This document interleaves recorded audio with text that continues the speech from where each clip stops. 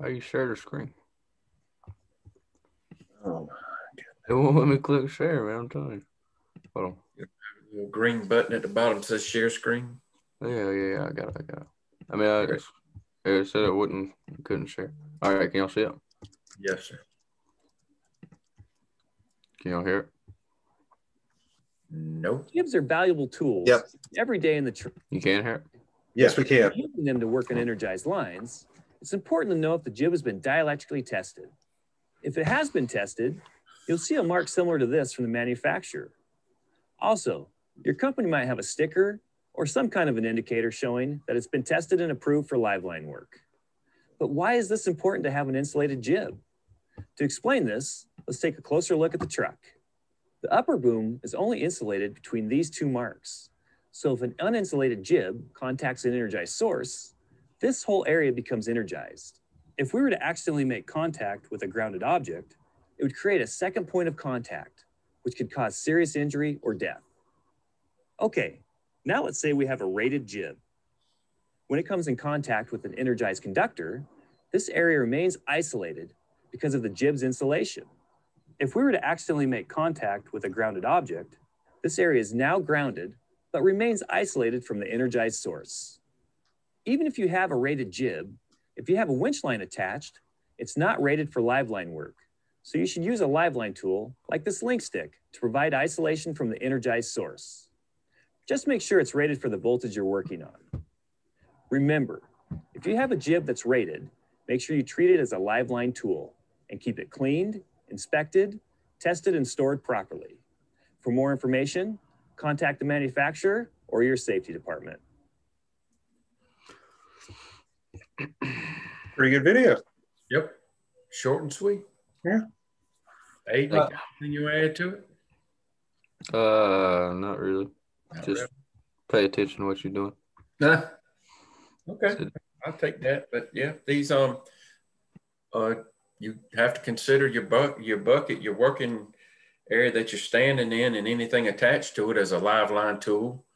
Um is I'm assuming it has the same ratings, Professor Shoemaker, as our sticks would have. Yes, sir. 100 kV per foot.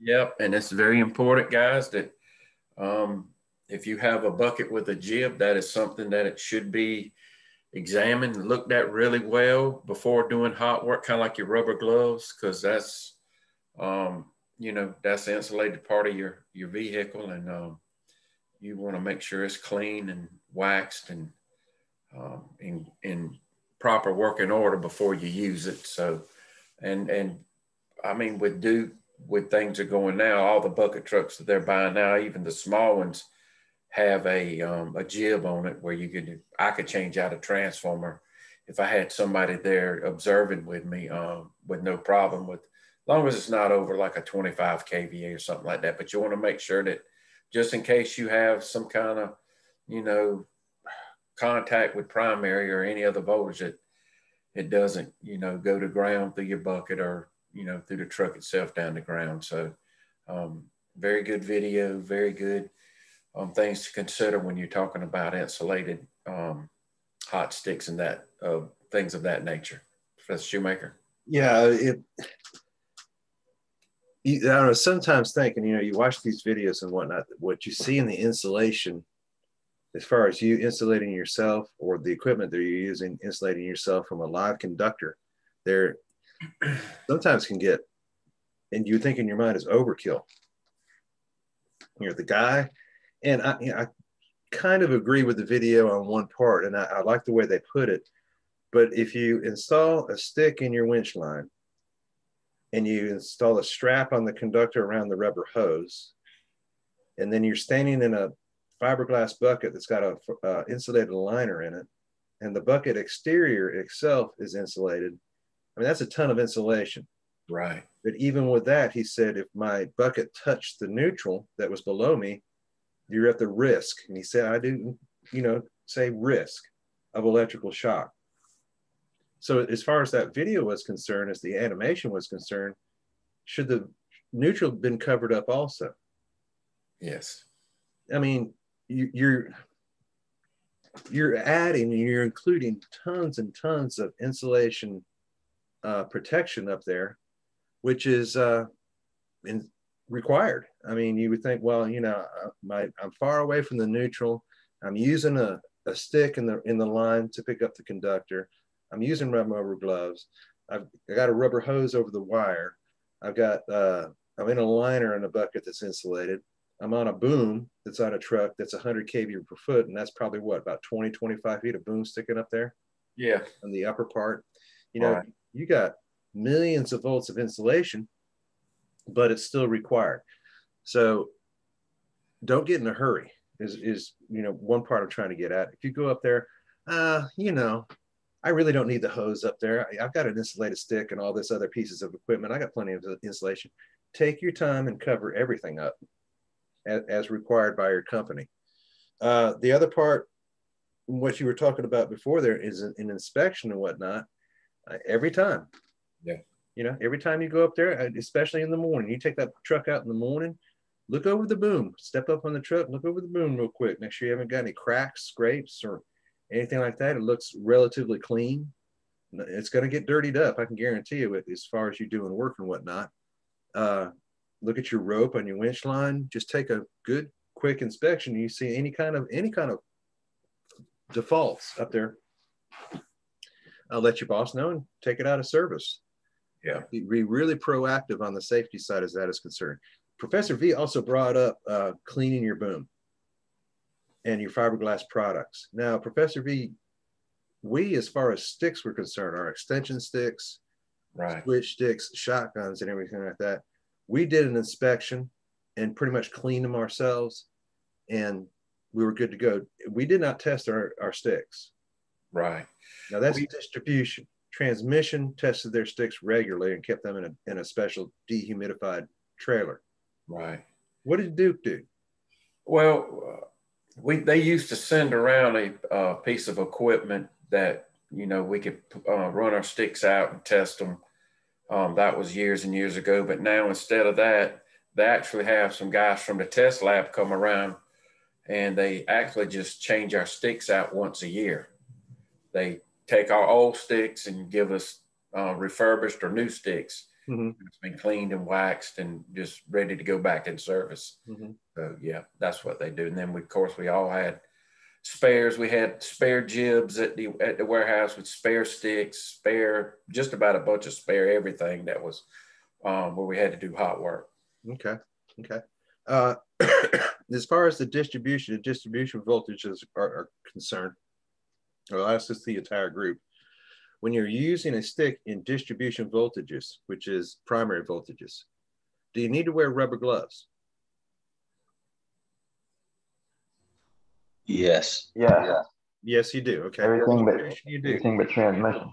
everything but transmission. So you have two options in transmission. It's either live line work, right? We have to actually put hands on, and that's a whole different procedure and training path.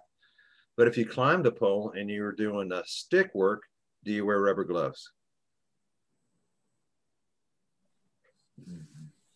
On transmission, Yes, sir. You you wear leather for that, correct? Anybody else? Okay, leather is typically the preferred, or you can bare hand a stick. Okay. Okay. You can bare hand a stick also.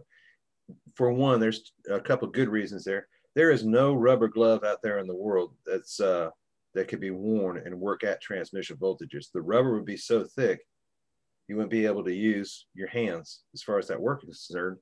And a lot of linemen like to bare hand that stick to feel the reaction of the stick.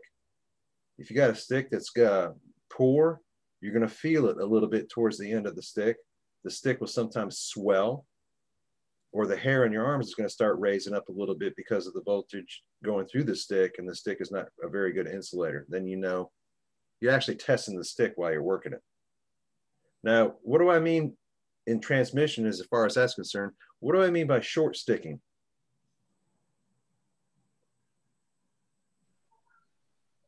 any guesses Using the shorter hot stick. Okay, I'll, I'll show it to you here. Give me a second. I'll bring up a video. Uh, this this is actually a rule in distribution also.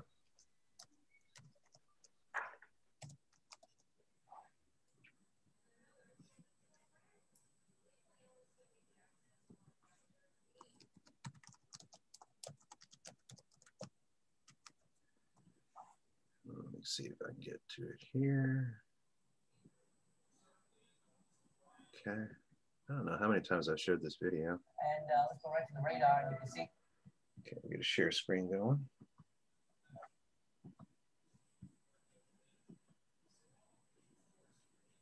Y'all see that? Yep. The Weather Channel. The Weather Channel. That's Live 5 News, buddy. Live five, baby, live five. Five's on your side. Um, just always got to keep a clear head, you know. So I mean, yes. I mean, we'll, wa- we'll watch the whole video. Training. But, uh, Say again, Rob? I didn't say nothing. Okay. and uh, let's go right to the radar and you can see the activity moving to the north. Look at that now. I'm sorry. I keep forgetting to do this because I know it's, you guys can hear it better this way. Here we go.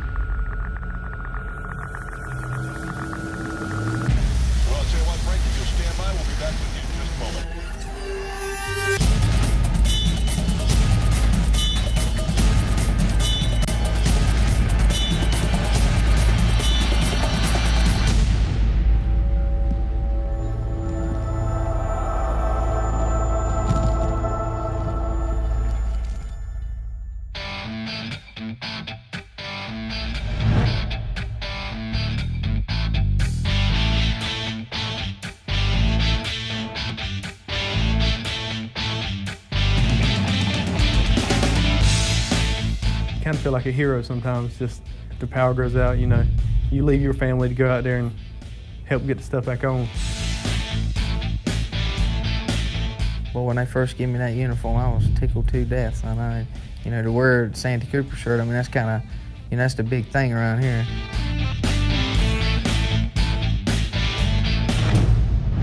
It takes a special person for this job, a person that's one willing to give 100% most of all. A person that's willing to be a team player, a person that's got common sense. This is the job to have.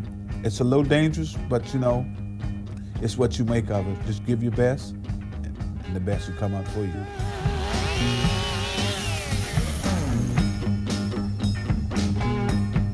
Got to be able to climb.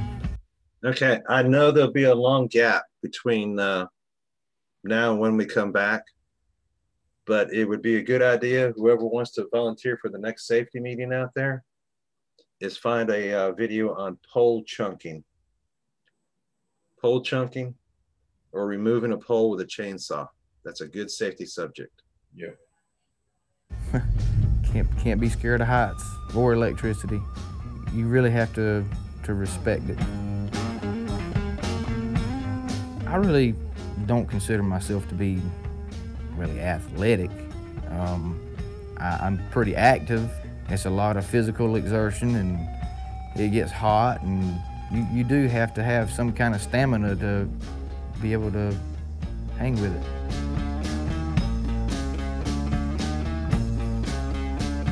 The job is very dangerous, um, especially like during storms or something. Um, you're working with high voltage, you know, 7,200 volts, you know, basically all the time. Um, just always got to keep a clear head, you know. So, I mean, yeah, it's dangerous. There's a good bit of training that uh, goes on for this. I mean, they give classes all through your first five years. I mean, it's constant. If you make a mistake, it might be something you got to live with the rest of your life, or you injure your people you work with, injure yourself.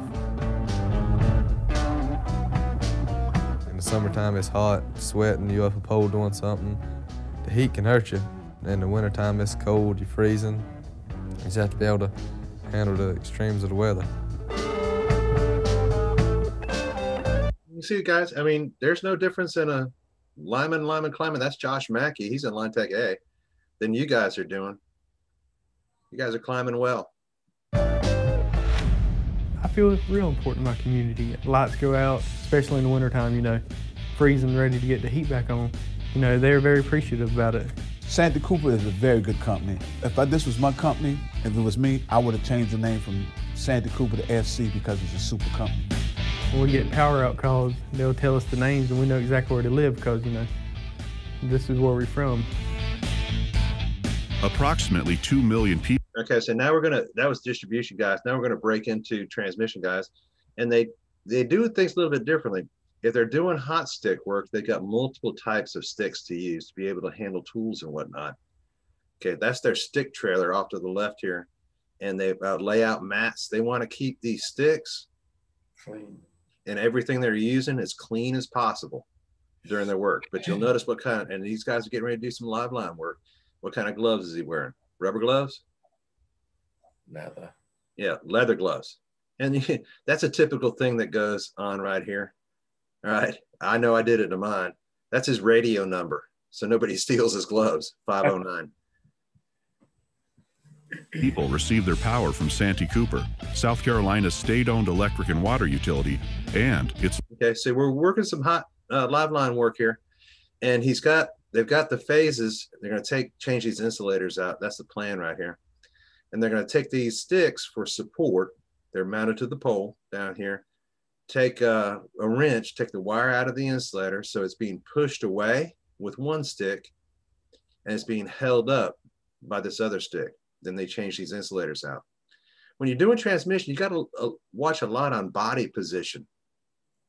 So look where these guys are climbing the sides of the pole. This guy's on this side, this guy's on this side, this guy's on this side, and this guy's on this side. You don't, it's, it's just going to get into your mind of where you're working at. You don't want to work anything as close as you, possible here. You want to use the full stick in your process. Plus, this puts your body on the pole and closer to the phase that you're working on, especially- especially in the center right here. So, uh, I mean, I know it's a video, but when you're working transmission work, especially on this H structure, that's the type of structure they're working right here. I would say this is probably the whole crew, and you got a supervisor on the ground that's doing the grunt work. Yeah. Yeah, everybody's up there climbing. largest producer of electricity. Santee Cooper's line technicians install, maintain, and repair power Right. So if you have live lines up there, you're going to have to use nylon, insulated nylon rope. And you can tell by looking at this one, how clean is it? Mm-hmm. Very clean. Very clean. And it's going to have to be very dry. Yeah. While you're doing this type of work. Ours are dirty and wet, but we, we're using them a lot. All right.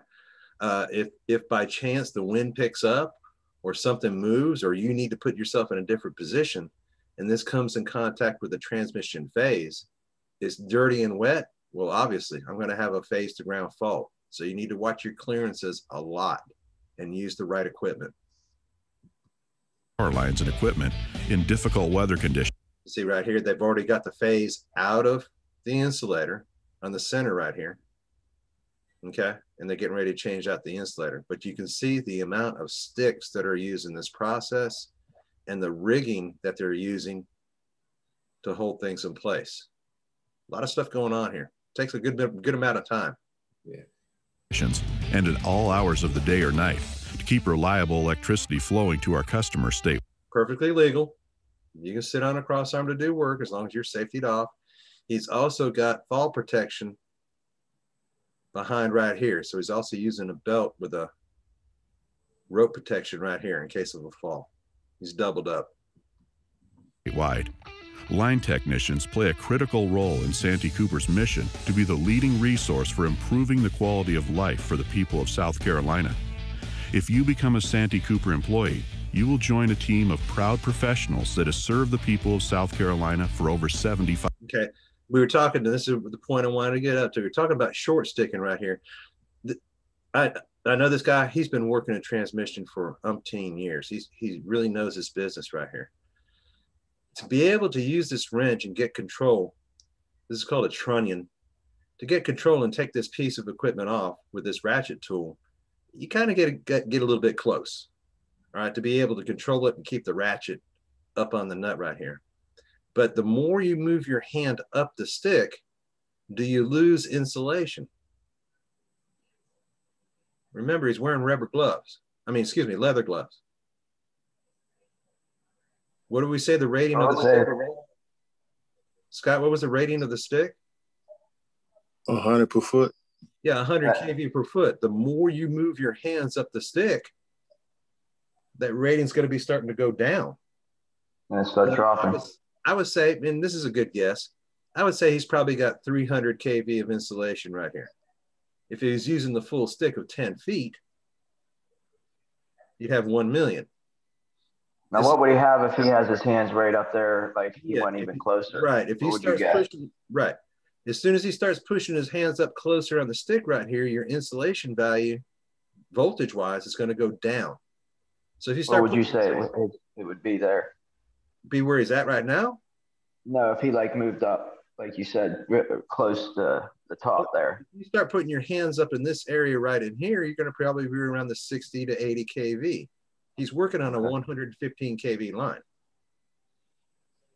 So let's go here, here, and I've got my hand here. It's going to go through you to the pole. So this is the safety aspect of it. Now, like I said, this guy's got tons of experience.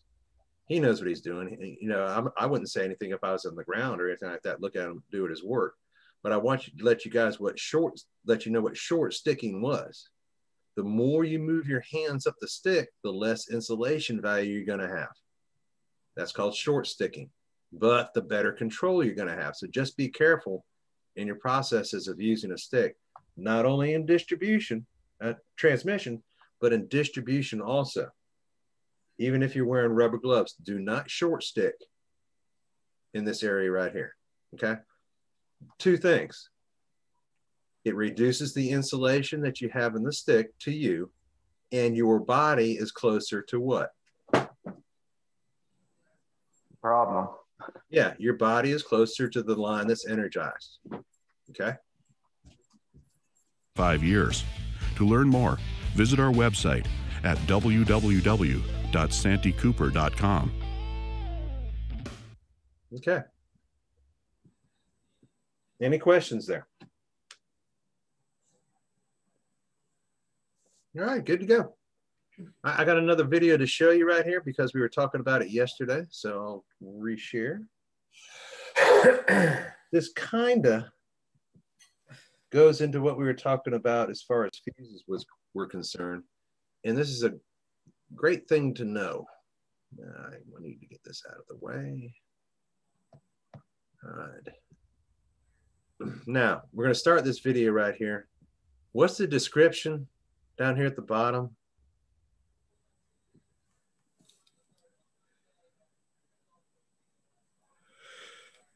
Use feed. Fuse feed. Seven- What's it say? 7200. What's the first word? Oh, blown 7200 volt fuse feed. Right. For one thing, voltage power. doesn't matter. Voltage does not matter on a fuse, does it? Mm-mm. Mm-mm. Amperage does. Okay. Right. This is this is our guy that we've talked about before. I'm going to start it right from the beginning right here. For one thing, he says it's blown. Well, let's watch this.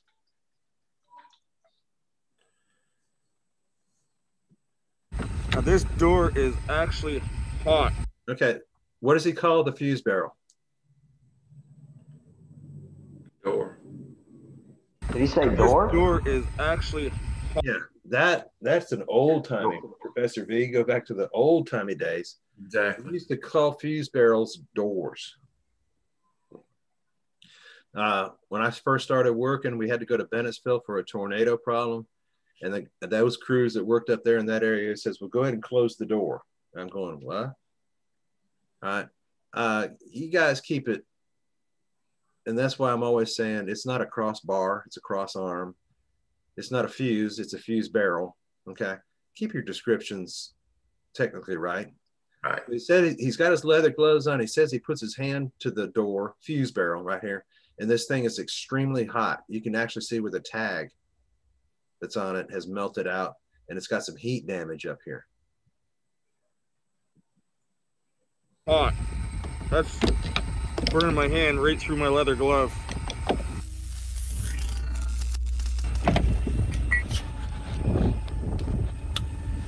There's the house over there.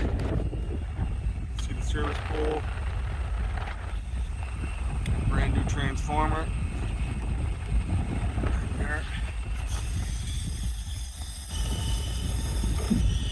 So now, first thing I check. Yeah, shiny that pole is. Uh, yeah, that's ice. On this all new installation was make sure all of our connections were actually crimped up in place.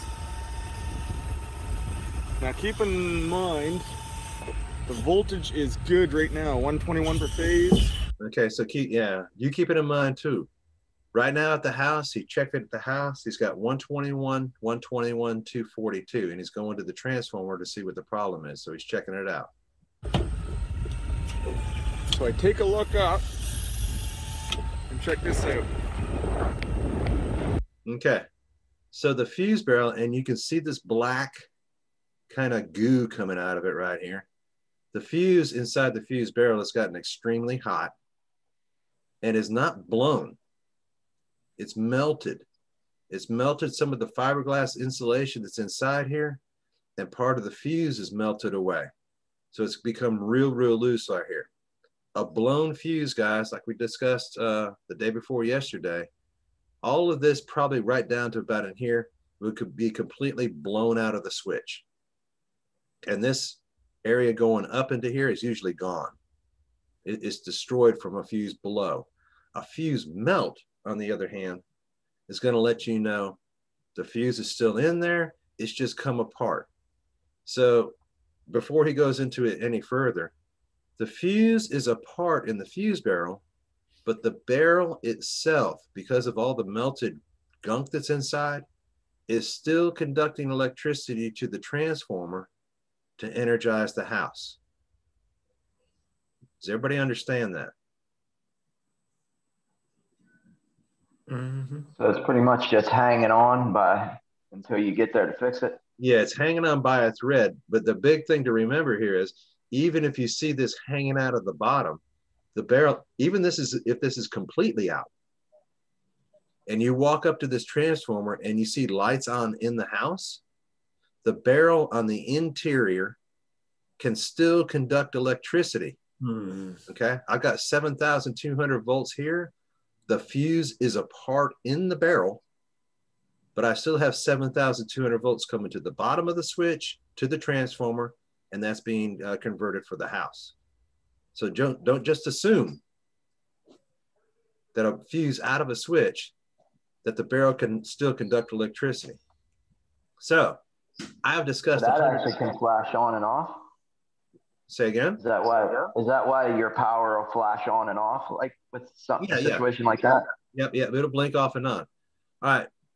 When we we've talked about the fuses in a fuse barrel before, when the fuse becomes loose, what is the barrel supposed to do? Drop and then to do what? Open. Open. Drop and open. It's Oh, been uh-huh. the load has been so high that the cap has melted or welded itself into the top of the switch. Okay, it's been so hot. So it's welded into place right here from the heat. That's why the barrel is not falling down and falling open from this slack fuse that's in it. All right. Description blown. This is not blown, gentlemen. This is melted. What causes a melted fuse? Lightning strike, Nope. Power overload. Overload. There's the word. All right. I've got overload.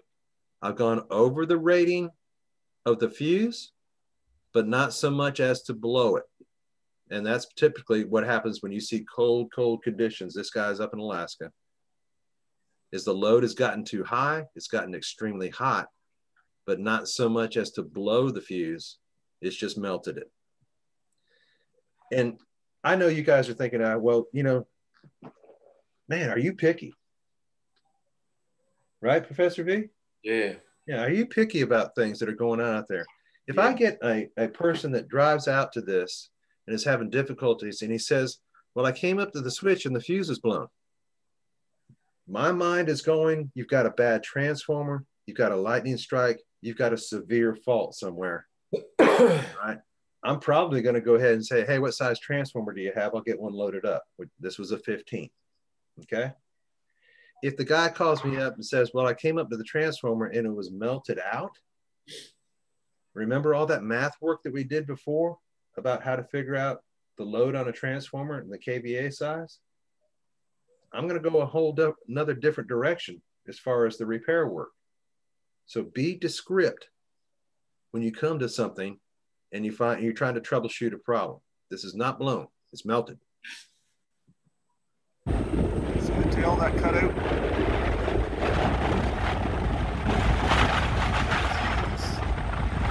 It's actually blown. Tad bit windy. The customer is getting full voltage through to their home right now. Power's on, 121 volts per phase. Right now we get a little closer look at things. Now this door is actually hot. That's burning my hand right through my leather glove. You can see the, the fuse link. It's actually liquid in there right now. She's all that liquid and everything is melting through the tube right there. That's what's conducting electricity. Yep. she's melting. So he says blown in the description. Now he says he's she's melting. Yeah. Oh yeah. Real nice. This is actually an older type door that has the tube attached to the uh,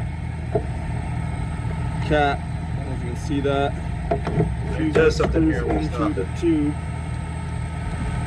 All right, so we got ourselves a brand new cutout door. Get a little bit better light here. You can see the uh, Okay. I, let's see if I can get it back. this older style fuse link has the brass tube. Oh, geez. Let's get back here.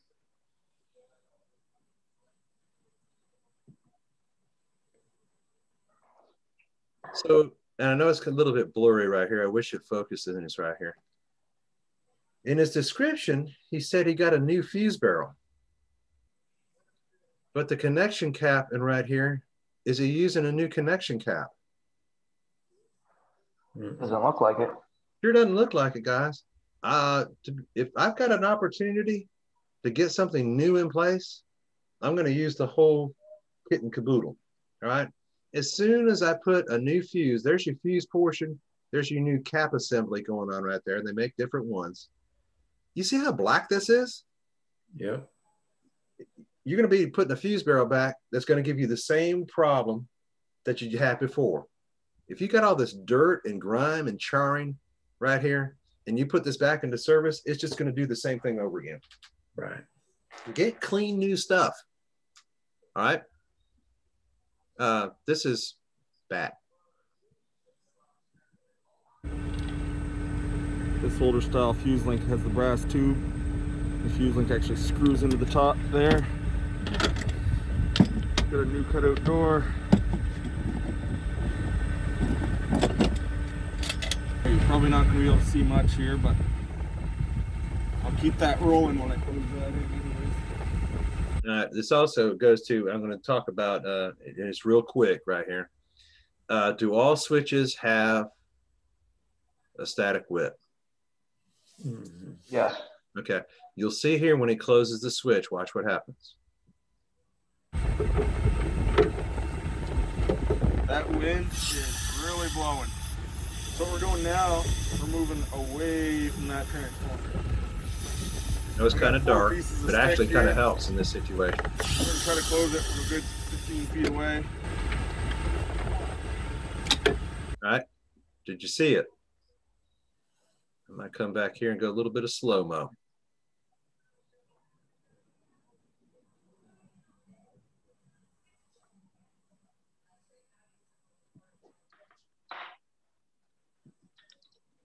right, watch it again when it gets ready to close the switch. I know it's fast.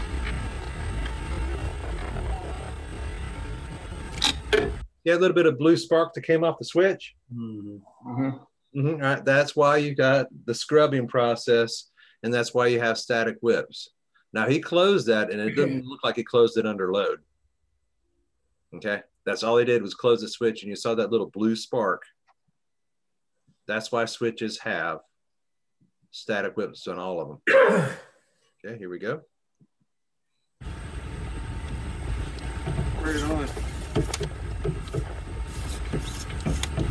Real awesome. Power's back on. Seen the lights come on in the living room, so we're go talk with the customer. Okay. Any questions on that video right there? Nope.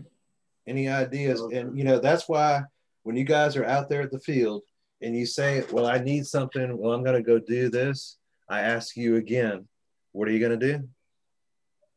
And you guys give me the correct information. And I, I don't know why crossbar and railroad tie or a cross arm.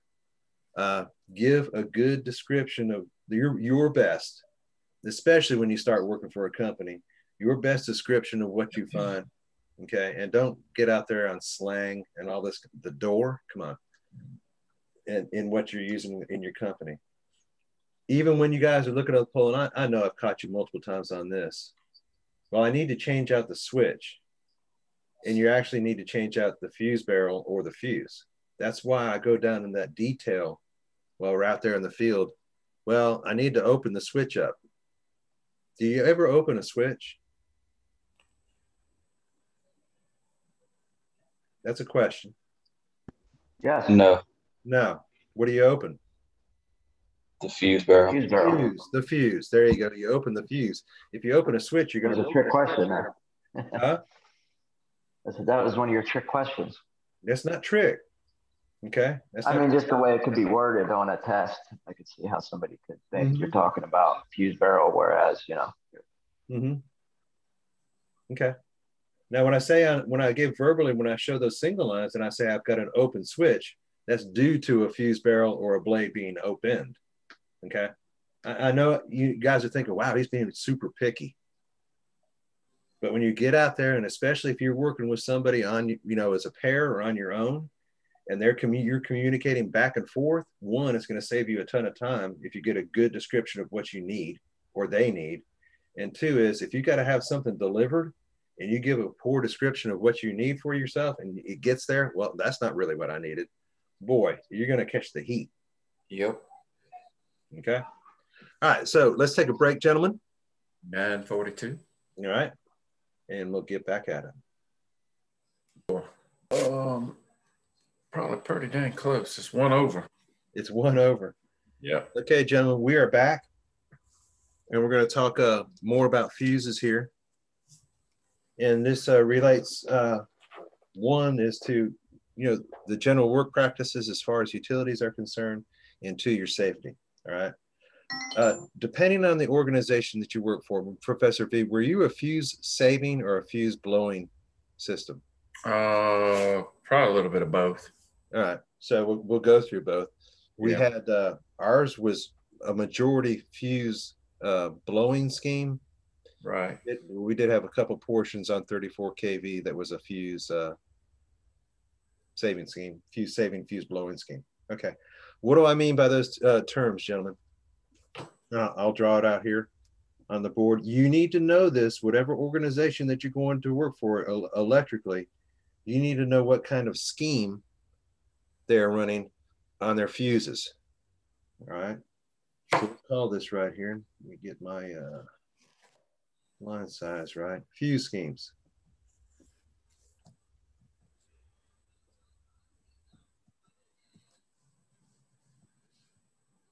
Now, in, in, in normal operation, a company is not going to swap back and forth fuse schemes because that means they're going to have to re uh, reprogram all their breakers.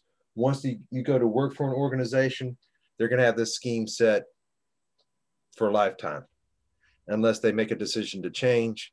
And then all the linemen and all the uh, crews are going to get uh, notified of the new fuse scheme that they're using in the organization. So there's two. There's fuse saving, and there's fuse blowing schemes.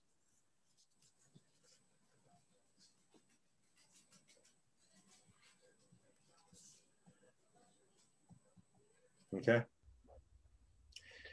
Uh, it, it's out for debate, I would think, Professor V, between you know linemen and customers and whatnot, as far as what kind of scheme they want to run on their system. There are some benefits to both. There's some drawbacks to both, but it's it's the scheme that you're going to be working with because that's the way the organization uh, has got it set to be. So I'm going to draw a circuit breaker and a substation. I'm going to come out of that circuit breaker with my feeder line. Then off my feeder line, and this is the symbol typically you're going to see for a fuse, this little S right here, I'm going to call with a fuse tap. So the first scheme that I'm going to go with here is fuse saving. All right, in, in the fuse saving process, and let's go back, so just to refresh here. In my organization, the one that I've taught about before as far as breaker operations, what do I have in the breaker as far as operations concerned? We talked about it when we had the two count sectionalizer.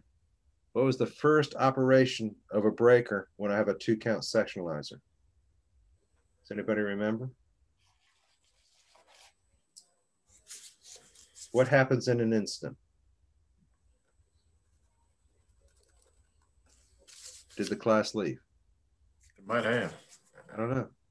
Breaker opens, closes. Uh, it does open. Whoever answered open, it does open if I have a fault. Detects a fault. It detects a fault. All right. It's going to open, but what kind of open? Is it instantaneous or timed? Instantaneously. Instantaneously. All right, that's an instantaneous open, and like we had said before, as soon as it, as soon as I have an eye open, it immediately closes back. All right, then it goes to what operation next? Instantaneous. Timed open. Timed open and a timed close. Okay, great. So we both know what I and T. Instantaneous, then timed. Right? That in itself lets you know right off the bat if you have a fuse saving or a fuse blowing green uh, scheme, we are in fuse saving. So I'll go through the process here of how we, why this is fuse saving when we're using the first operation is instantaneous and the second operation is timed. A fault occurs and whatever happened falls away within the instantaneous operation. So we both, we all know opens, closes, whatever it was down here on the fault, it's cleared itself now. Is once the breaker closes back, on the eye. I open, I close. Once it closes back, are there any, do I have all my power back on? Remember, this fell away to the dirt. Is all my power restored? No. Yes. All right. And whoever said no, and I'll go through the steps. Fault occurred. It's starting to fall away. Open, close. It's fallen away. Is my power restored?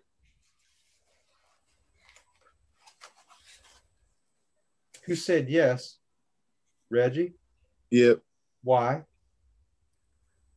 Uh, because the fault is off the. The fault, is off the circuit. Correct. The fault's off the circuit. In that moment that it happened, might have just burned away. Okay. And it closed it back. Opened, then reclosed. One eye target. That's all that occurred. One instantaneous operation, and the fault has fallen away. Did the fuse blow? No. No, it didn't have time. It didn't have time to to uh, go away because the instantaneous operation of the breaker saw it first. The fuse did not have time to blow. All of my power remains on. Okay. That is fuse saving. So one, fault occurs. Anywhere on the circuit. I have an eye open, close, fault, cleared.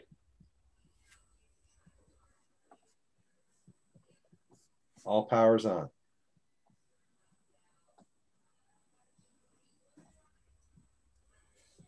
Now, obviously, we see the benefit here. Did I have to call anybody out to fix anything? No. Nope, sure didn't. Okay. Uh, everything's hunky dory. We're good to go. Here's the drawback. Did every single customer on this circuit, this feeder circuit, every single tap line and transformer see a blink in their lights from the instantaneous operation? No. It would have had to been from that point on. Instantaneous open, instantaneous close. Did everybody attached to this circuit see a blink in their lights? Yes. Yes. Yes. Yes, everybody did. Okay. That's the drawback. All right. So when we ask on a quiz, components here that are going to need to be answered on this fuse saving is instantaneous, timed operations, fault occurs, eye open, close, fault cleared, all power is on. That is fuse saving. I did not have to replace the fuse. All those steps have to be included.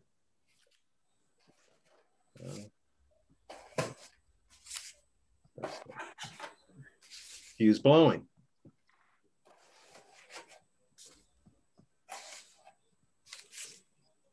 Breaker.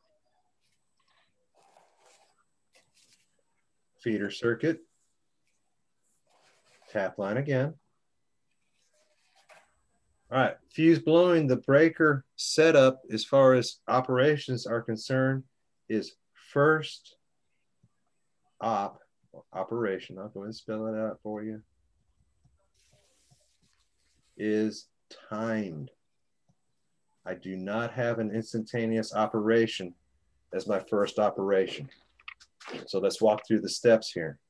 Fault occurs. Does the breaker open and close? My first operation is timed. Does it immediately, do I immediately have an instantaneous operation when the fault occurs if it's timed? No. No. Fault occurs, fuse blows because I don't have instantaneous open close, right? Breaker is okay. Fuse blows, that, that's it. Right? It sat there for, you know, a second, half a second, not instantaneous. The fault occurred, the fuse blew, it recognized it. Here are the benefits for you. Did anybody on my feeder circuit or anybody else attached to it, did their power go out? No. No. Okay, the only persons that were affected were on this tap line. That's one benefit of it. What's the drawback? You have to change the food. One is we definitely have to change the fuse every single time. Good, good one, Reggie. The other thing is, whatever happened here might have fallen away. So you could probably patrol this line and find never find a problem with it. But I still have to replace the fuse. All right. I have definitely, once the fuse is blown in a uh, fuse blowing scheme, I've got to send a person out every single time to replace the fuse. So that's the drawback of it. And it's kind of, I, you know, I can, I can see the benefit in both directions. I can see the drawback in both directions. Just follow the rules of the organization that you're working for. Two, and this runs into the safety side of this. What do we need to get anytime that we're working on a circuit? What kind of protective measure do we need at the breaker?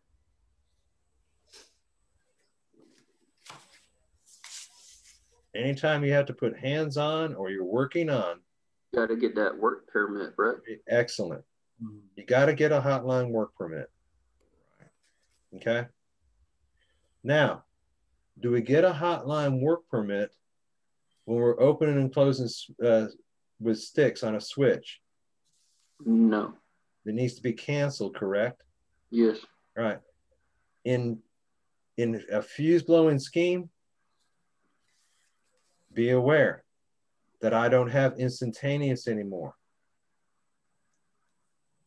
Right? It's not going to go if I give up my hotline work permit in this situation here, I'm going to have infuse blowing. It's going to sit here and it's going to grind for a little bit. When I say a little bit, rather than an instantaneous open close, it's going to work on it for a little while. You're going to get a pretty good explosion. And if there's a fault down here, it's going to last longer in a fuse blowing scheme. Right? That's a, that's a safety aspect of that. if you have a hotline work permit and come in contact, here's a rule, and I will get deeper into this. If you get a hotline work permit on fuse blowing or fuse saving schemes, all are instantaneous, then open only. Right. Okay. Systems are designed this way. So if I have a fuse blowing scheme, I have a fuse, fuse saving scheme, every time that you get a hotline work permit, automation takes over and the breaker goes to that all instantaneous operations and an open, even if you're in a timed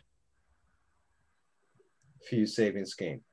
Okay, it does some switching around in the breaker, controls are changed. You don't have to be there.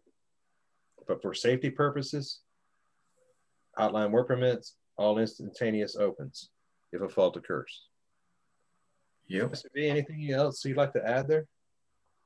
I think most of um, Duke's is actually um, fuse blowing. Fuse very, blowing? Very, very little. Yeah. Fuse saving. Okay. Uh, and and if I was to say that, if I was to go to, uh, especially an extension stick, using an extension stick, changing out a fuse, you got to give up your hotline work permit. Right. I would say, be advised. Just keep it in your head. If you're working for Duke Energy and you close on a fuse, the first operation is going to be time. Yeah. You're potentially going to have a larger explosion or a longer arc occurrence. Uh, you know, if you have a fault down line. Yeah. Right. If you're in a fuse uh, saving scheme, you close that fuse, the breaker's going to immediately open and close. It's going to be a little bit of time, but it's not going to be as intense mm-hmm. As it would in, in another. So just, I mean, that's just good information to keep back in your head. Now, let's clear this. And I'll tell you a situation that happened many years ago. We had, I'll tell you, we worked a dual voltage system. We had uh, uh, 12 kV, 12470, and we had 34.5. Okay.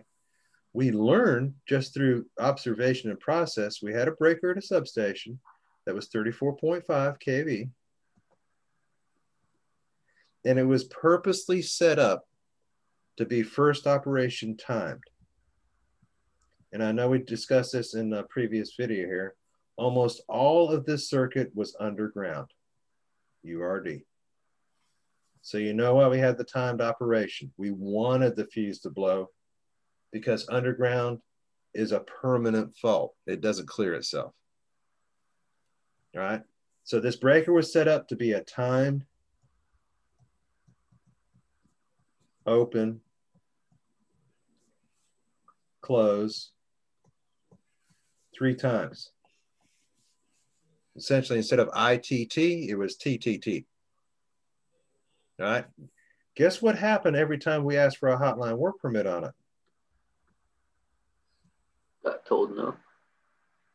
It was programmed, and this was you know you know done many many years ago, and uh, I, I guess just overlooked in the process of you know going from fuse saving to fuse blowing, and, and breaker controls is every time we got a hotline work permit, the first operation was timed, then open.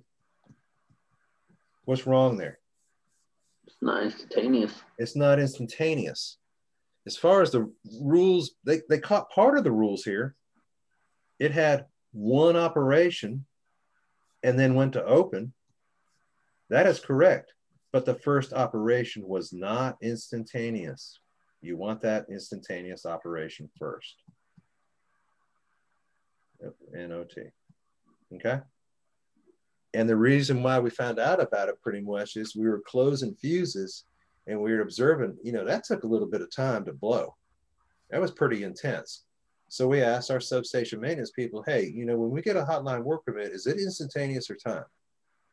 And they went out and investigated. They were you know, totally honest, came back to us and said, yeah, when you're working around that cir- circuit uh, and you're getting a hotline work permit, the only thing that you're getting is a timed open. And we just asked them nicely, hey, can you make that instantaneous when we get a hotline work permit? So they went and reprogrammed all the 34 kV breakers. So we had instantaneous operation, first operation. So that was only, you can do a lot of things with wiring and relays. That was only when we got a hotline work permit. First op equals I, I. As soon as we gave up the hotline work permit, we went to timed, open, close three times. The way it was designed to be in normal operation. Okay. As far as fuse saving and fuse blowing, it's essential to know what kind of system is running on your system, what kind of scheme is running on your system out there. All right. Uh, ask the company or ask your crew, ask your supervisor, hey, you guys running a fuse saving or a fuse blowing scheme? What is your procedure for closing switches on new or repaired equipment? Know that information ahead of time. And you'll, for one, it, it's a safety requirement. Two is it'll save you a lot of headache on outages. Professor V, anything else that you'd like to add there? No, sir, that covered it perfectly. Okay, so let me, we went through the steps on the video there for a fuse saving. Yep. I'm gonna go through the steps here that you're gonna need to have down for the quiz on fuse blowing. One, as far as fuse blowing is concerned, first, operation equals time.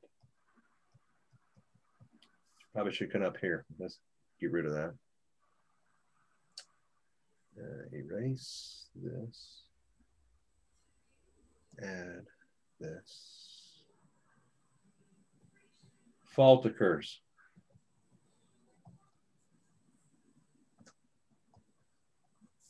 Two, first operation is timed. Three, can anybody help me here? Fault occurs. That's the first one. So let's walk through the steps here. Right. And I'll draw my little line out here. Open. Oh, are we cleared? Uh, what opens up, Reggie? The breaker the fuse? The fuse. The fuse blows. Okay. When you keep your breaker energized and you blow a fuse because of the first operation is timed, that goes right back to what we're working on fuse blowing. That's what I wanted to do. Fuse blowing. Four equals what?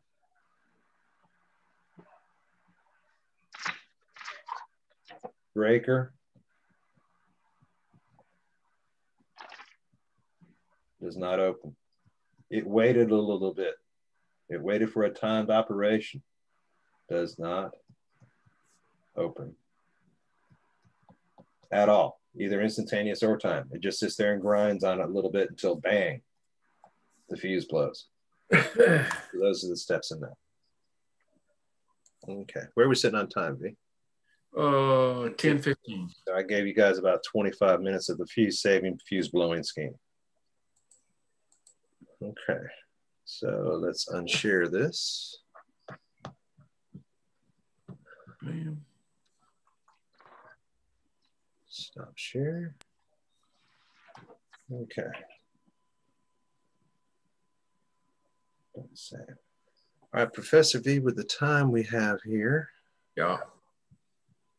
I wanted to go through the jack jumper. You wanted to go through the what?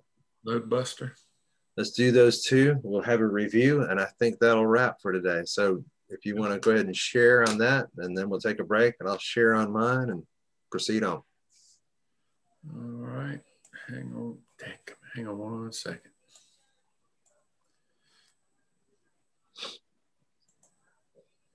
All right, share screen. Share. Got it. Got it. Yep. This is this is the load buster tool.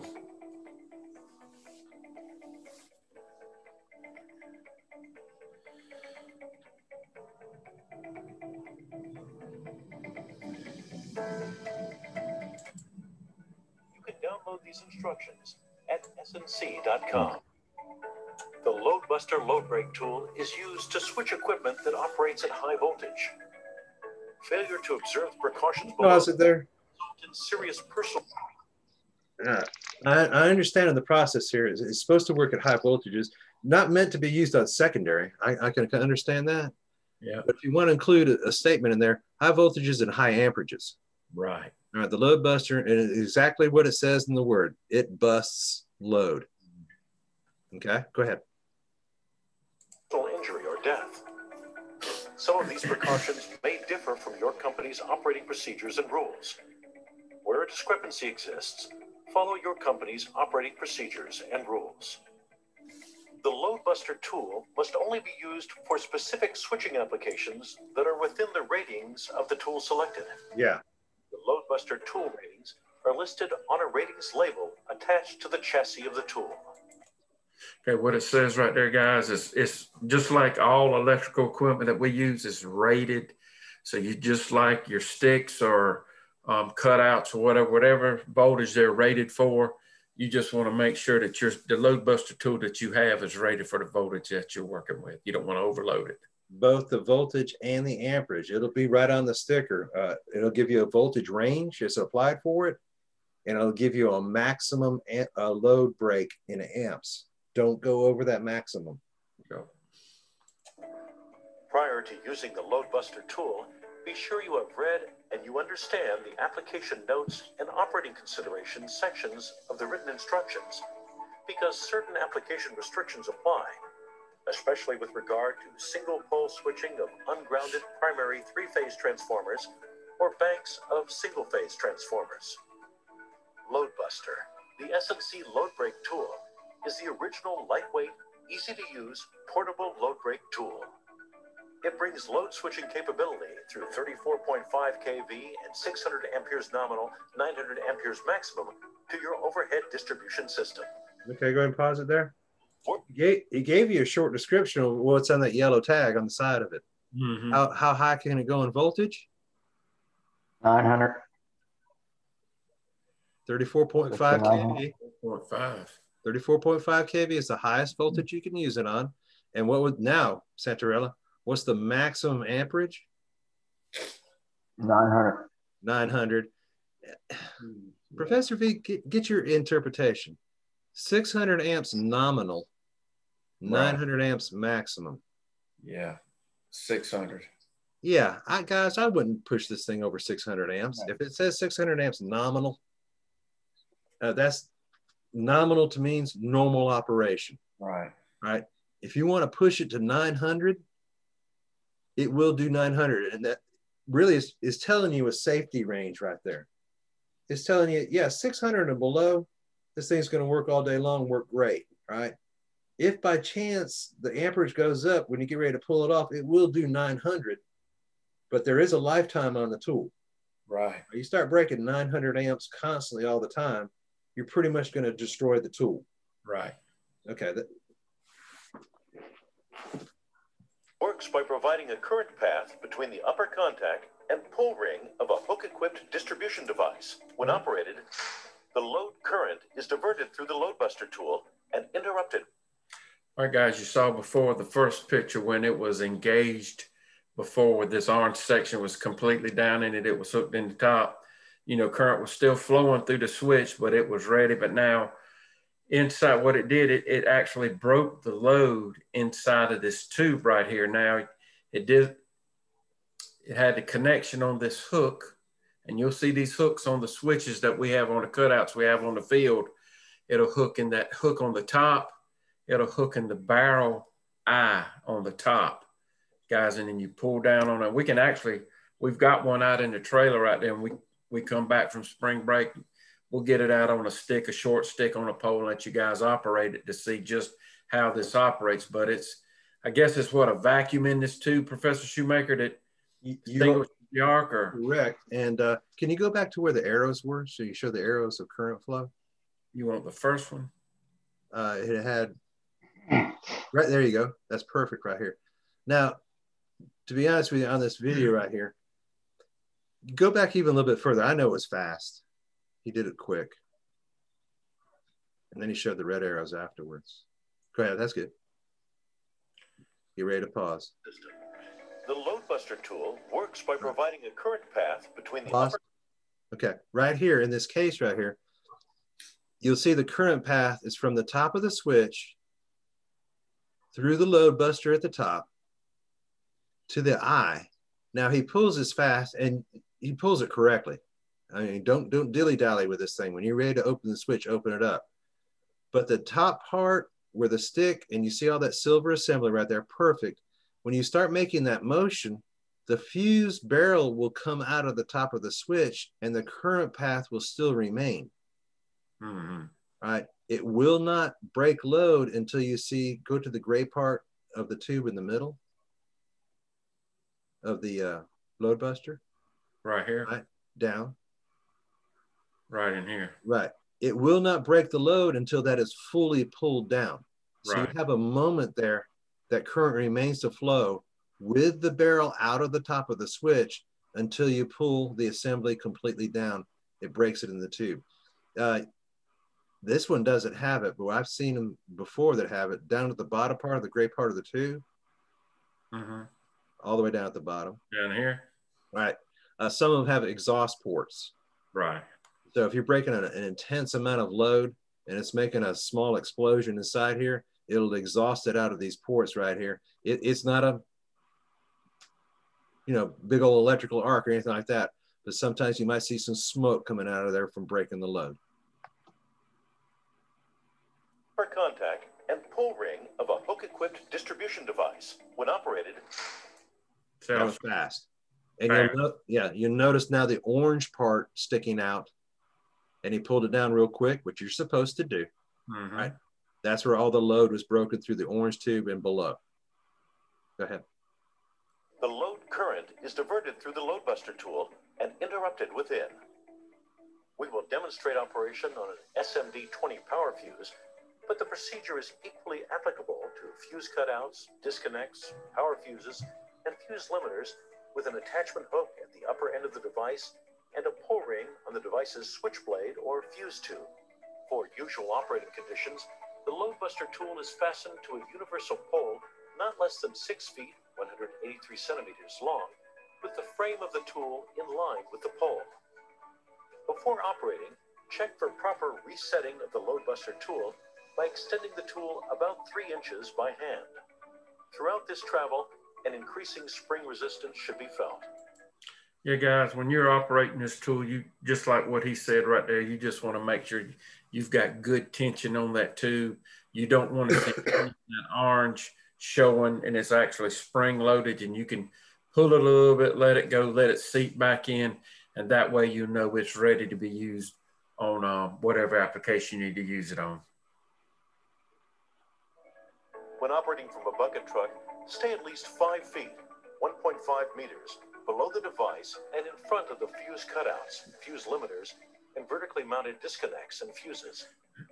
When disconnects are mounted inverted, approach the attachment hook from the hinge end, staying well below the device to be opened so excessive horizontal force is not exerted on the insulator. Okay, you can pause it there. Uh, he- what's the minimum distance he can be away from it? Five. 1.5 meter. All right. Follow your company's rules. We had to use a 10 foot stick with these. Right. Right. So you got video information right there. Follow your company's rules. We had to use a 10 foot stick. Go ahead. Okay.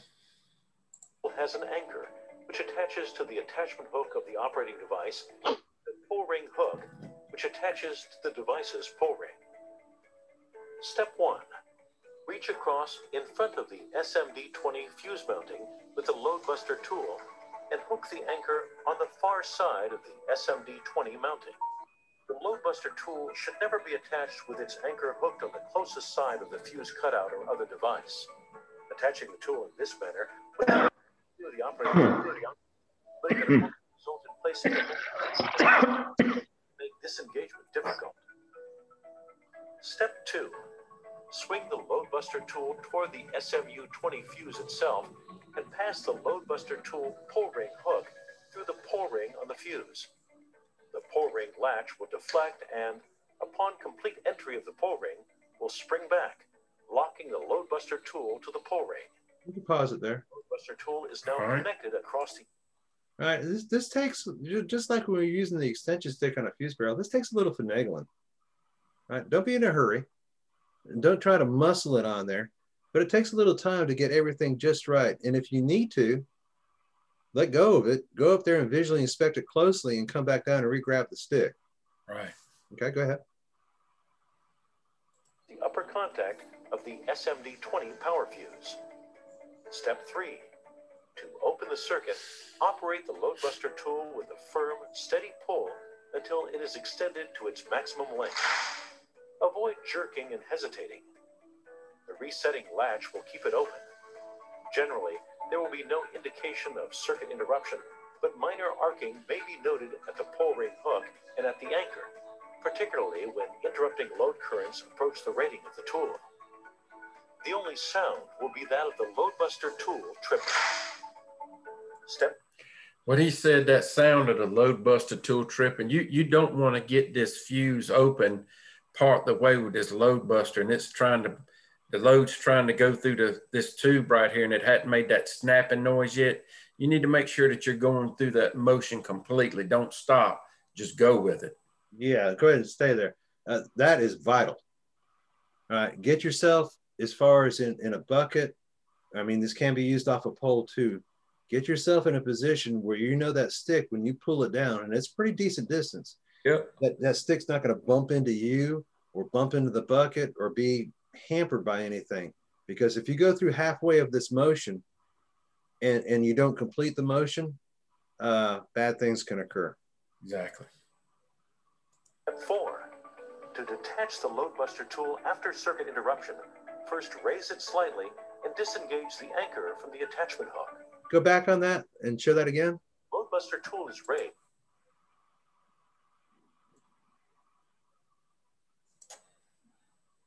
Raise it slightly and disengage the Pause. All right, you see right there, raise it ever so slightly, and really we we never raised it. But you'll notice what he did with the stick is he rolled it clockwise. Take your stick and roll it clockwise, and it rolls right out of the top of the switch. Okay, don't push it forward.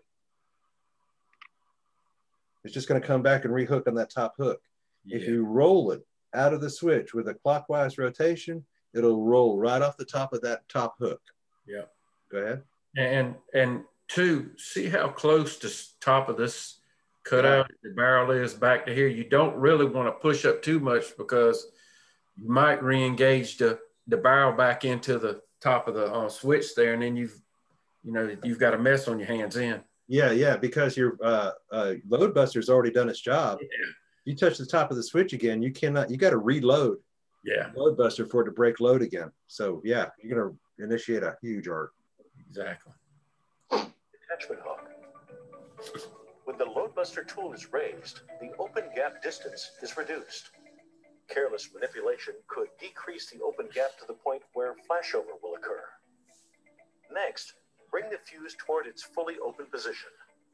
Remove the load buster tool from the pull ring by turning the pole. This will deflect. There you go. That's what I was trying to say. Right.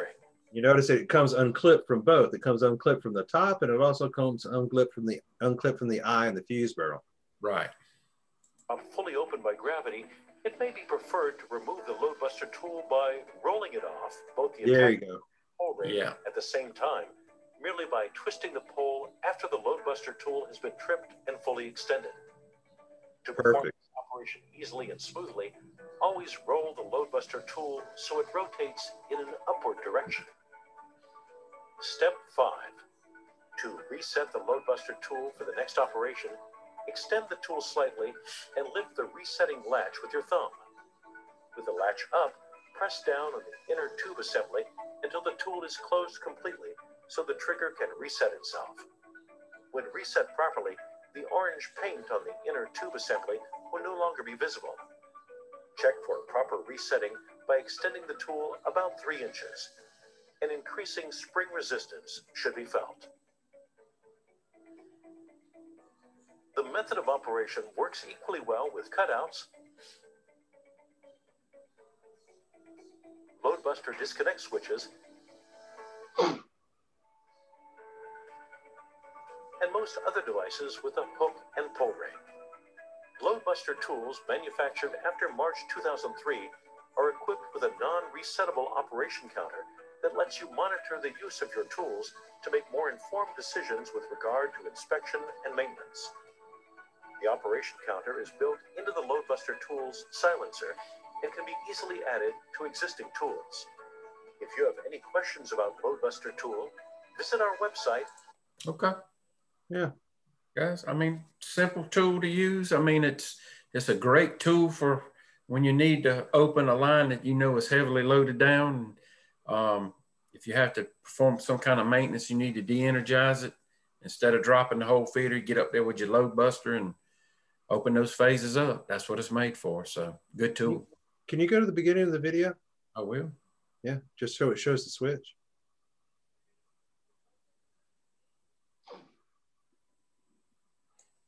Uh, all the way up to the switch part where it's hanging on the pole.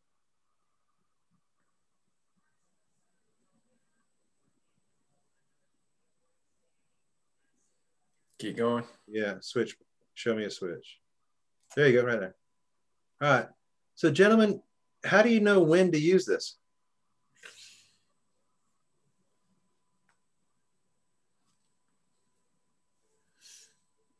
Do I have to use it on every single switch that I open? No. No. So how, Trevon, how do I know when to use it?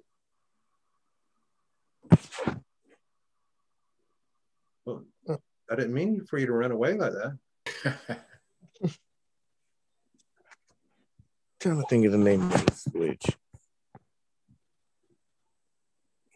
Do I use it in high voltage situations, high capacitance situations, high resistance operations, or high amperage operations?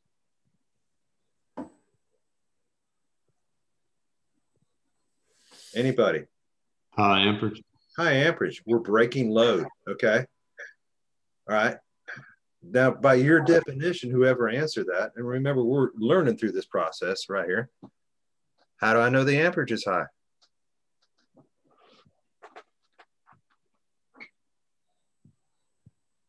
I don't know. Okay, that's fine. That's fine. Uh, how would I measure and find out? Amp meter. Yeah, put you an amp meter around the fuse barrel. Okay.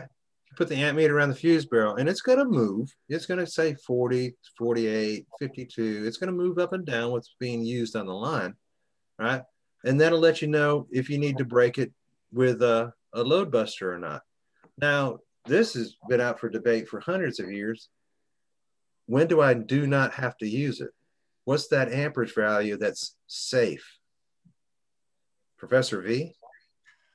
It's hard to determine. I mean, I Yeah, would, it's hard to determine, gentlemen. I've seen in cases where I've tried to break five amps with no load buster and it, it just boils. yeah. Right. I've seen cases where I've broken 50 amps with a switch stick and everything went fine. Right. So it's a decision you're going to have to make on, on your part. Uh, we did experiment for a while in cases where if we saw on our amp meter that it was around five or six amps and that amps was steadily increasing, we weren't able to break those loads, even though they're relatively low. Right. The amp is steadily increasing. We try to open that switch, you'd get a get an arc flash and a big old Ball of fire. fire would come out of it. But on the other hand, we leave the amp meter on there and the amp meter was steadily decreasing. Throw would do it. we pull that switch open, there'd be no arc. So it, it's kind of you use what your company tells you to do as far as the load bus is concerned. Now, I, me, my personal preference, if it's 10 amps or more, I'm using a load buster Exactly. just from experience. I've seen 10 amps on a 50 kVA transformer, which I thought would be simple, uh, pretty much destroy the top of a pole. Yeah. So use the load buster as needed. Okay. That's it. Any other any other questions on a load buster? No. Uh, pretty much every single one of our bucket trucks had one on it. Exactly. Yeah, it is a great tool. It's got its own box. Keep it clean, keep Yeah. it safe. Note the number of operations, even at nominal amperages, it's only supposed to operate a certain amount of times before you have to send it in for maintenance. Right. Okay. All right. No questions on the load buster. I'm going to share a screen right here. Then we'll do a uh, review of things to come. This one's kind of cool. How long, Professor V, how long do you say the load buster's been around? Uh, it's probably been, We've probably had that 10 or 15 years. Yeah. Whoever invented it, I know is making a ton of money. All right. So what do you do in the case where you need to change out a fuse, upgrade a fuse or change out a fuse barrel or something like that, and you don't want to disrupt power? You don't want the power to go off. You're going to use what they call the jack jumper. Bam.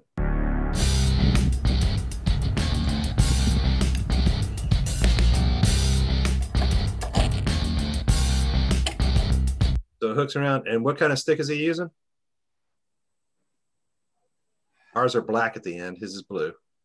Shotgun stick. Shotgun stick. Yep. So you grab the top. Usually it stays, uh, we grab the top, hang it, then grab the bottom and pull it to the bottom of the switch. But all this thing is doing right here is making an electrical path. So you're able to open and close the fuse barrel, do whatever you need to do to replace it, whatever. And power still flows from the primary through the jack jumper to the bottom of the switch. Now, the reason why it's a spring is it can be used on multiple size switches. You don't have to get one for a small switch, one for a big switch. That's why there's a spring in it. This video is short.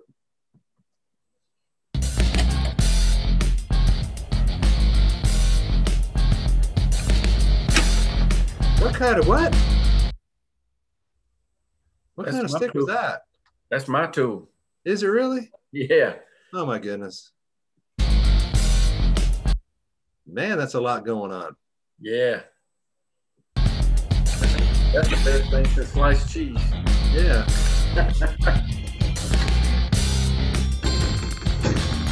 so the barrel's open and out. I don't I just don't still like those sticks. Uh, is power still flowing? Yep. Yeah. Jack jumper is taking care of it. Uh, it's surprisingly, uh, you wouldn't think that just a spring loaded connection right here, especially in the amperage size, would be sufficient for amperage to flow through it. It works.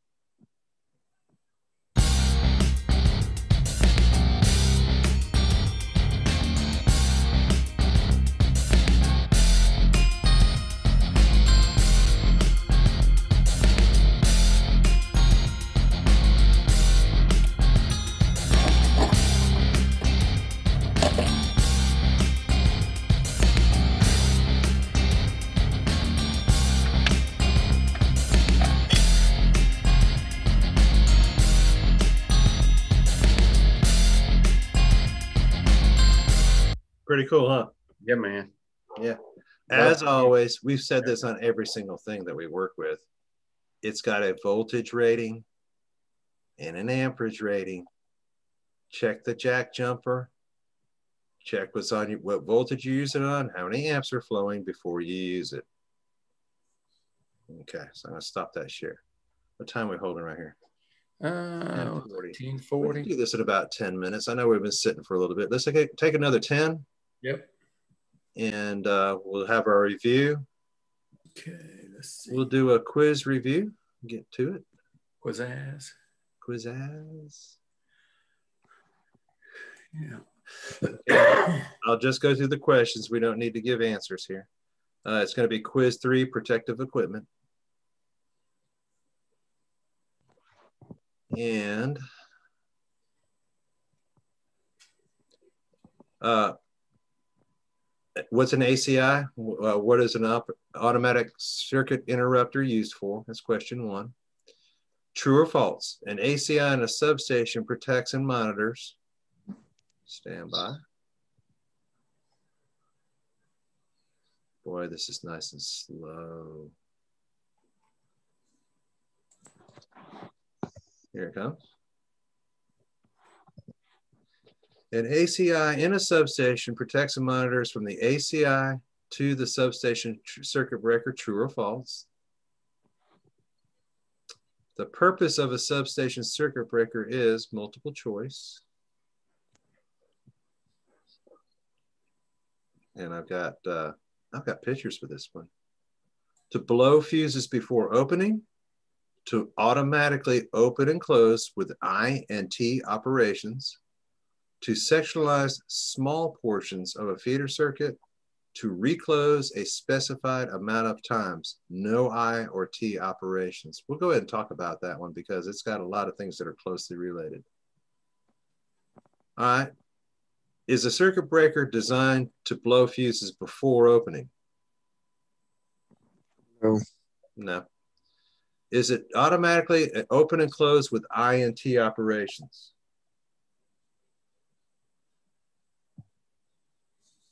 Well, first we'll talk No. about the automatically part. Does it does do I need anybody there to work on it or operate it? No. Right? If does you're on the automatic. Not if you're on the automatic. what? Question, Scott? No, I, I, I was answering what you just said. Did you say I was? You said not on the automatic. No, I I didn't didn't hear what you, the last thing you said. Right. Uh, it's it- it is- automatically open and close. Does it do it Oh, automatically? that's okay. I think so. What? I, I- my hearing was gar- it gargled. It was like cutting in and out. I, I didn't hear what you said when you said automatic. That's why Okay. I got confused. Did you hear it last time? You said the automatic. That's all I heard. Does it work automatically? Does it work automatic? Yes. There you go. Does it open and close? Yes. Does it have both I and T operations? Yes. That one fits well. Okay. It's, it's used to sectionalize small portions of a feeder circuit. No. No. Okay. It takes out the whole feeder circuit. And it's used to reclose a specified amount of times with no I or T operations. No. That doesn't fit either. No. Okay. The purpose of a recloser is multiple choice. Open and close automatically with I and T operations.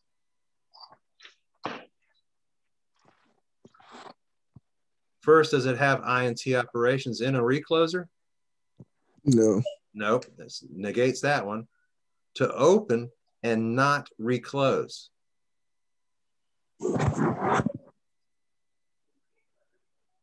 Well, it's called a recloser. So is it supposed to open and not reclose?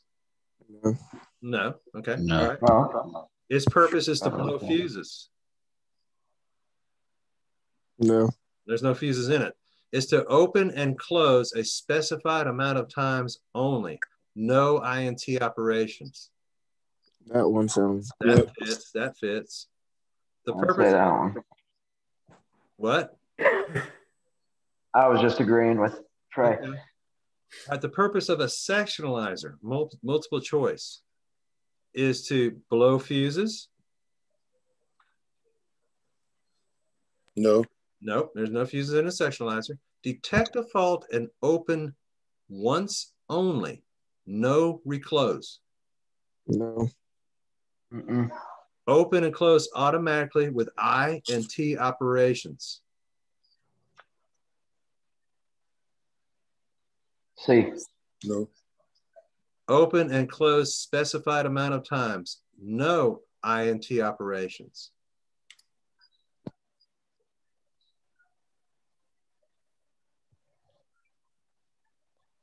Okay, let's go back to, and I, I, I'm not hearing any very good answers there. Are you, Professor V? No. No. Okay. What was the third one you said? Open and close automatically with I and T operations. Go back to what the piece of equipment is. It's a sectionalizer. It takes out a section of the feeder circuit. All right, does it blow fuse? We already got What that. was the fourth one again? Open and close, open and close a specified amount of times. No IRT operations. So let's narrow these down. It's a sectionalizer. It So does- obviously, what was that, Trevon? I was gonna say uh, the sectionalizer doesn't that one det- detect the fault and just opens, and then the one or two count sectionalizer is the one that opens a certain number of times. Correct. And you will see it by a picture. I've got a picture of a pole mount sectionalizer right here. Okay. A pole mount sectionalizer, let's do, let's take away the bad ones. It doesn't have fuses, so it doesn't blow fuses. All right. It doesn't open and close automatically. Remember, it takes out a section. And this is in the answer. It doesn't have I and T operations. It's not a breaker. It's a sectionalizer. It opens a specified amount of times, no IoT operations. No, it doesn't open a specified of times. It opens how many times? Just once. Just once. Last answer. Open, excuse me, detects a fault and open only. No reclose. Yeah, that's it right there. That's it right there. That one fits. Yeah, that's the one that that's good for underground, right? Correct. Excellent. Because underground faults are why? Most normally permanent. Permanent. Excellent. Excellent. Um, All right. The purpose of a two count sectionalizer is, and I've got a picture of it, pretty picture at that. Yeah. Open and close a specified amount of times.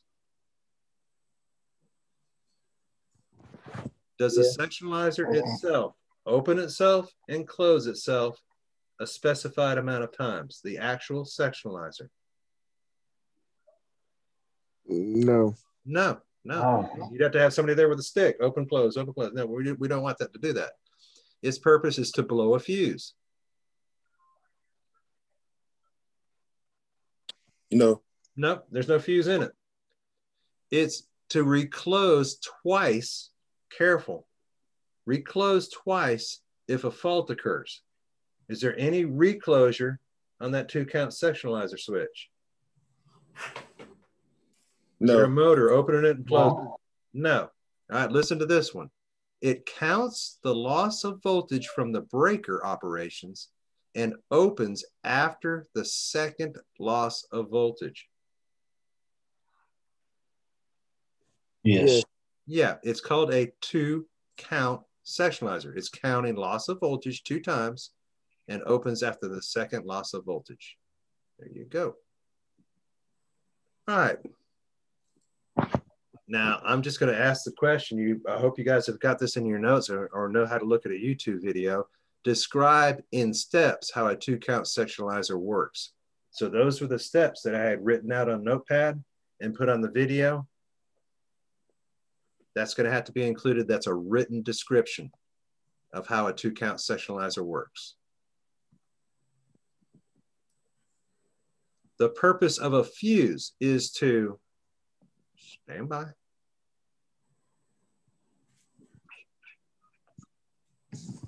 Reclose after a fault occurs. Fuse No. blows, does it reclose? No. No. Count loss of voltage and melt after an overload occurs. Does a fuse count? No. No. No, no, no No. counting process up there. Open with IRT operations. So is it seeing instant? Is it doing instantaneous time? No. No, that's a breaker. Blow if a fault occurs. Yep. That's the one. That's- Well, if a fault occurs. There you go. All right. Put your thinking caps on. I'm going to make you think about this one. A blown fuse is caused by line equipment going slightly over amperage rating. phase to phase or phase to ground. Breaker operations going above two counts. A blown fuse is caused by what's the best answer on that one? Phase to phase or phase to ground. Phase ground faults. Correct. A melted fuse is caused by, and guess what? I put the same answers in there. Mm-hmm. High intensity faults, solar radiation, heat from the sun. Fuse load is below the rating of 150%. Fuse load is slightly above amperage rating of 150%. Fuse rating is slightly above the rating. It's gone beyond what the fuse can handle, but it's not a fault. It's just gone above what the amperage rating is for the fuse. Correct. Scroll down a little bit here. True or false? Overload is at high amperage, high intensity fault. True or false? False. False. True or false? A fault is slightly above load amperage ratings of the equipment, fuse, or lines. True or false? A fault is slightly above load amperage ratings. True or false? False.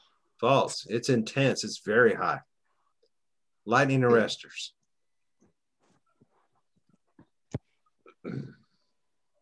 A lightning arrestor stops the flow of overvoltage. Next, next answer. Stops the flow of overvoltage. Next answer. Blows the fuse in a switch. Next answer. Redirects overvoltage to the line or transformer. Last answer. Redirects overvoltage to ground. Redirects over voltage to ground. Correct. Ground. It does not stop the flow. Okay. It doesn't stop it in its tracks. It redirects the overvoltage to ground.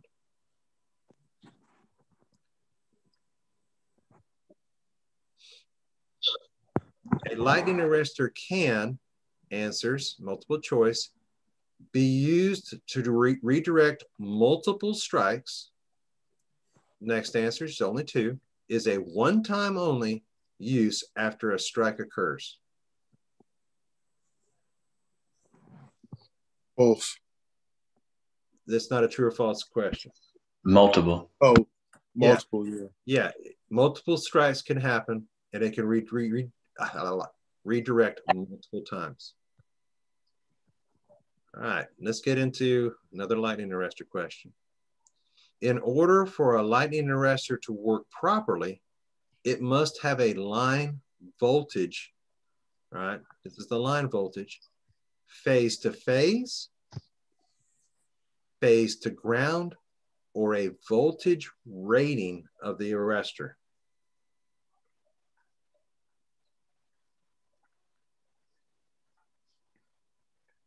Phase to ground. Anybody else? If I know what my phase to ground voltage is, that's that's close to the answer. It's not truly. So I've got 7200 volt phase to ground. I need to know what the voltage is. Can I put up a 20 kV lightning arrestor? When my line voltage is 7200 phase to ground, will a 20 kV lightning arrestor be correct? Uh, be too big. Be too big. So I need to know what. I need The rating. The, the voltage rating, correct. I'm going to use an 8.1 kV lightning arrestor for a 7200 volt line. So the best answer out of those, and that's why I say in order for a lightning arrestor to work properly, it must have a line voltage voltage rating. Got to use the correct rating arrestor in that situation. All right. In your own words, and this, you don't need to answer this, give the definition for overload. line equipment or fuse overload. So give me your definition for an overload. And then give your best description for a line fault. Pretty much you can go by the other answers that you've already answered in there and know what to determine as far as your written description of a line fault or a line overload, line equipment overload. Now, when you get to the line for line uh, fault portion of it, don't put phase to phase and phase to ground and leave it at that. Describe the situation of when you have a phase to phase or phase to ground fault. What is amperage doing? All right, 18. Describe fuse saving by what we had today. 19. Describe fuse blowing. And 20. What tool is used to break high amperage loads on a switch? We just saw the video. What is it? Load buster. Yeah, don't put, don't put that jack jumper in there. put that load buster in there. That thing is made to break loads on a switch. Professor V, anything else you'd like to add? No, sir. Okay, uh, this will be, and I'll, you know, the weather has not arrived here. This will be another midnight uh, finish time, but I would suggest you guys get on it as soon as possible. I don't know what the weather's going to do to your internet or electricity. Mm-hmm. Okay. All right. So we will text you. I will text you with the uh, both video links, today's and the day before yesterday, so you can refer to those. And Professor V and myself will also text you when the uh, quiz is available. Yeah. So with that, and just just one last thing uh, before we go, because you guys got a stretch of time here. Uh, not that I will be able to check them through the course of spring break, but if you guys want to go ahead and start submitting, you, that you guys that have not uh, done this yet, your resumes. Yeah. You got some spare time, probably a good idea to do it then. Those of you that have submitted and been checked off my list, you're good to go. Right. Professor V, without, if you got anything else from you. Yeah. And guys, don't forget when we come back on the 29th, we're not going to Zoom. That's a Monday, correct? Correct. Mark Jones is coming? Correct. Thank you very much for reminding me that. We'll be on the field. We're going to be on the field Monday morning, and I'll send out another reminder of that. We're going to be on the field at 9 a.m. Monday morning. Of course, weather permitting, if there's tornadoes or whatever, we'll reschedule. Yeah. Uh, have your money ready. Uh, we've talked about this before. If you're paying by credit or debit, make sure your limit is up to the amount you're going to spend. And we will take care of that. It's going to take, what do you say, about two hours? Yeah, a couple hours. It'll take a couple hours to get it all squared. And when people get their tools, you're going to have to put them together like right. we do our sets of tools. So it's going to take a little time. Yep. All right. Any questions from anyone? Yeah, so you take a debit card like at the field? Who, Mark Jones? Yes. He will. Okay. Uh, he just needs to call it in. If you've got the opportunity now and to get the cash, you can you can email him or call him. Okay. Okay. When I say now, anytime through, you know, if you want Friday or Saturday, he'll take those calls. Okay. Okay, good deal. Any other questions? Is there a Dropbox for the resumes? Yes. Where was that at? Two thirty one. Um, I'll double check. Okay. Assignments. I think I put it all the way at the end course, which we're in really in now because of yeah. Rain. Yes, the resume Dropbox is in ELW two thirty one. Okay. Thank you. Yes, sir. All right.